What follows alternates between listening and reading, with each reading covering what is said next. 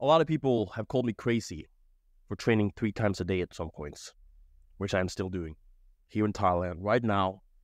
Such a beautiful place, to be honest. But hey, in this video, I'll be talking about why overtraining is bullshit.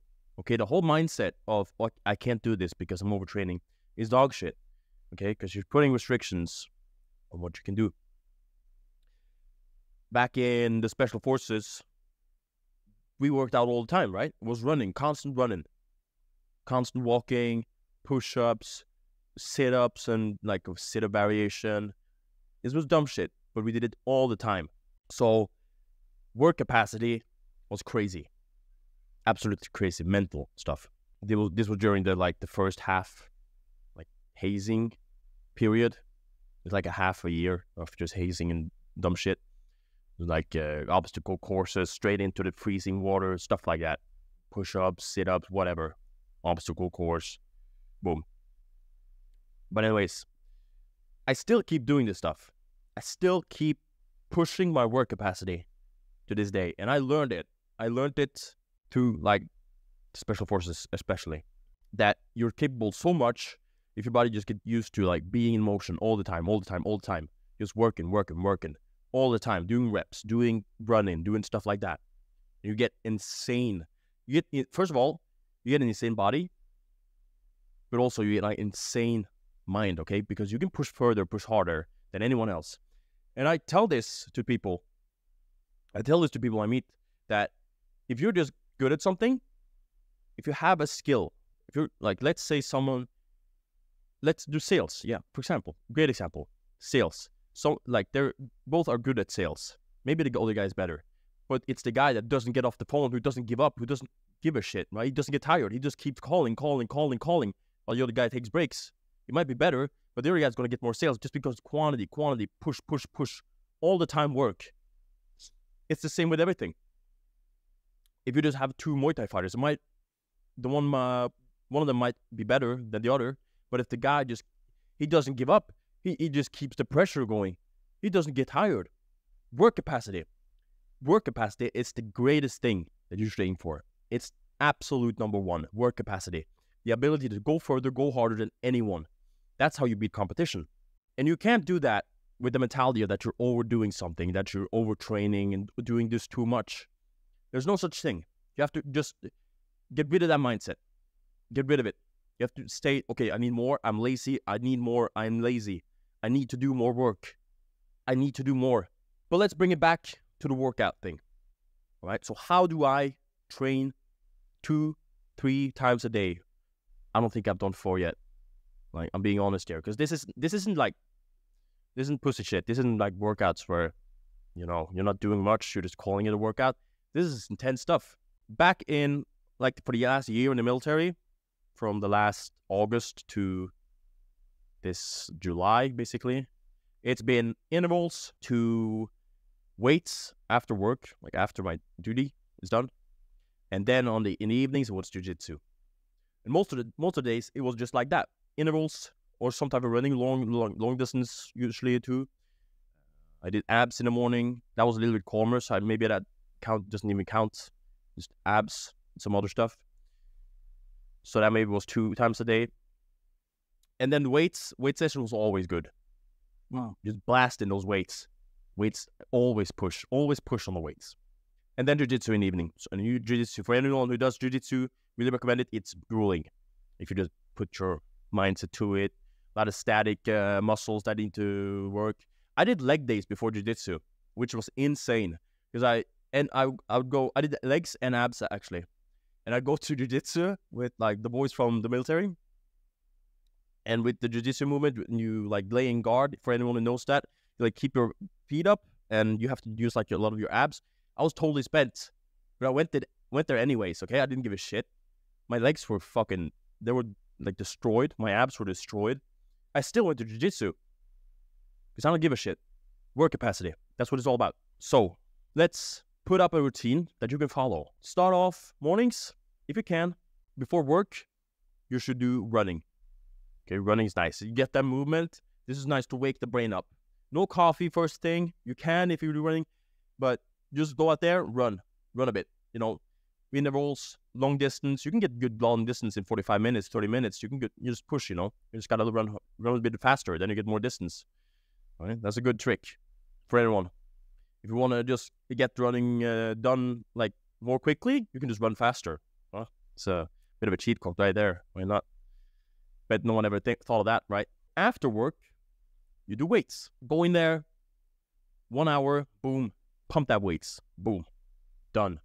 That's your second workout. Third workout, you should do fighting or fight gym or something, but you could do swimming. I've done swimming too. Uh, swimming is great, especially if you do like back workouts before you go swimming. Your lats are fried after swimming. So, you know, you could do like intervals in the pool too. That's good. If you're bad at swimming, you can do intervals. It's easier to like keep the form good. Just practice that. Swimming, by the way, is essential. It's an essential skill. If you don't know how to swim properly, like crawling, you have a problem, okay? Because crawling is an essential skill. Being able to save yourself or someone you care about from dangerous situations in water, just being comfortable in water in general, is a it's a necessity. It's uh, undisputable.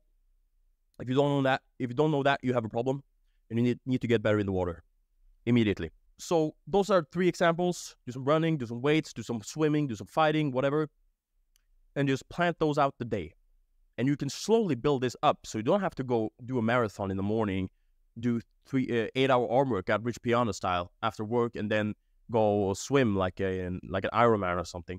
You don't have to do that. Just you can build this up slowly. We're building more than just our bodies here. We're building work capacity, our capacity to go out there, spend ourselves, go back in, like recover quickly, eat, eat, eat, eat a lot, keep our shoulders down, go out there again in the same day a few hours later. That's how you you get so hard in head by this, okay? You get fucking iron mind. It's insane. This plus like the talking to yourself that okay, this is it, this is it, this is it. You just you you level up instantly. Instant level up, guys. I'm telling you. Try this. You can start with two workouts. You're probably most people right now they're doing weights.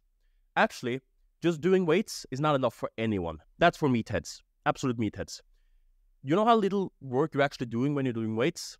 It of course depends on the workout, but like let's say you're just doing reps, like five reps. You're not moving that much of your body, really, are you? Just think about it. I think like the standard for like active being active during a day is like three hours, like with activity, and usually like weight workouts are like for me it's two hours, or one and a half to two hours. You're still not getting enough just working out like pumping every day. You should do some more. And with this, you can. And with this, you will level up. Food wise, when it comes to eating, that's really, really, really important too. You have to be able to schedule your meals here. If you do, if you have to do meal prep because of location, whatever, do meal prep. I didn't when I was in military. We had a mess hall. I ate up the mess hall. They actually increased the price after I uh, came there to that camp. People started joking that it was, it was me increasing the pricing because I ate so much, I would sit there for a whole hour just eating, eating, eating, and uh, people just uh, people are actually like befumbled about the amount of food that I was able to eat. So I was like force feeding myself too, which is really good. Contrary to what anyone would have you believe, it's really good. You have to like I I force fed myself for I think I don't know how many years now. Back in the day when I was like waking up at five thirty a.m. prepping my meals and stuff, I would eat oatmeal till I puked Boom. My mom hated me for it. I didn't give a shit. Look at me now. This shit works. So eat a lot. Just eat a lot and just make sure to time those meals. Also, sleep. Just make sure it's efficient. I did this on six to eight hours of sleep. Sometimes I only six hours of sleep, which is absolutely insanity. Guys, I don't actually know how I'm recovering from all this work. To be honest, I don't know. But I think my insane amount of food heavy cream. Just go check out my video on the on the alpha male gorilla meal I did. Go check that out. That's perfect. A lot of calories in one meal. Some of it liquid, like the heavy cream, which I'm using there. Perfect, absolutely perfect. But I don't, in general, I don't even know how I'm recovering from all this work. I must be some superhuman. Who knows? Who knows? I know I look at look at myself in the mirror. I'm kind of like befumbled. What the hell is this guy doing? You know, that's what I'm thinking. What the hell are you doing with yourself? But I'm, uh, you know, I'm really happy with it. I really enjoyed the feeling. I actually had this thought yesterday when I was walking out in the street here. finding some food. Had some chicken and rice, a local here in Thailand. Really nice. Bit spicy though. But I had this thought that because I was so spent after doing Muay Thai twice and then weights, I was so spent. And the feeling is just so addictive. It's so nice just knowing that you like feeling your whole body just being like, ah, spent. It's so nice. Guys, if you haven't spent yourself that way ever, now is the time. Okay, do this. Do this. Work out more. Work out like to your body just like you feel like a, just a bag. Just a bag of meat walking around. Oh. That's nice. That's fucking addictive. Guys, I'm telling you.